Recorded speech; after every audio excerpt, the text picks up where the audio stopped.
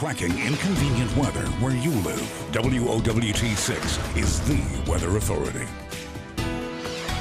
All right, hopefully you're enjoying the start to your weekend. Finally, some drier weather back into the forecast.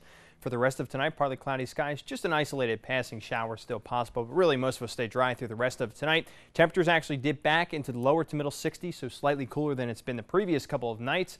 Waking up for Saturday morning, partly cloudy skies with a little bit of patchy fog possible early. If you sleep in at all, you'll miss it. You'll wake up, we'll see mostly sunny skies. Very nice to see that sunshine back in the forecast seeing cloud cover every day. That was getting a little bit old, but tomorrow lots of sunshine by the noon hour. Temperatures into the 70s. Then into the afternoon, we'll see temperatures work their way into the lower to middle 80s. Mostly sunny skies, and the winds tomorrow not terribly strong either, generally under 10 miles per hour. So if you're heading to the Huskers game, couldn't be more perfect for the season opener. Hopefully you have a good time with some family and friends again. Saturday looks great. Most of Sunday looks good. Sunday's a great pool day. It's going to be hot, high temperatures upper 80s, close to 90 degrees.